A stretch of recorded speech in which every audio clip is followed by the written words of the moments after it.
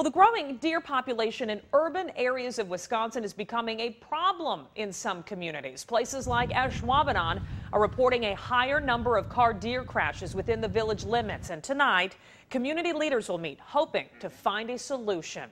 NBC 26's Eric Crest is live in the newsroom with a look at the options. For many that live in Ashwaubenon, deer sightings are a pretty normal occurrence, but they are increasing, and now village leaders have to decide how to manage that deer population. For many in Ashwaubenon, it's what's happening in their backyard that trumps the television any night of the week.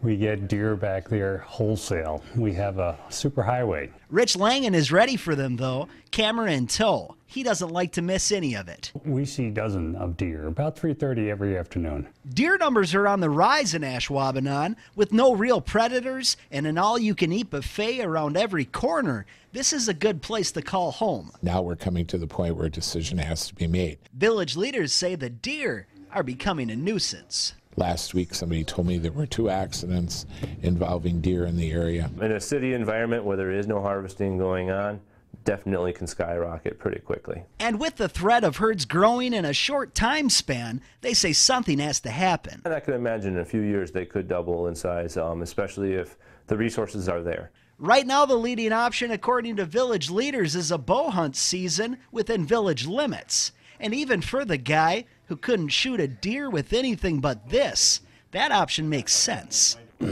I hate to say it, but yes, we're going to have to control them eventually. Now, tonight, village leaders will likely decide if a bow hunt will be put into place this season, but there are some pretty strict guidelines as to who can hunt and where and when they can do so. Reporting live in the newsroom, I'm Eric Crest, NBC 26.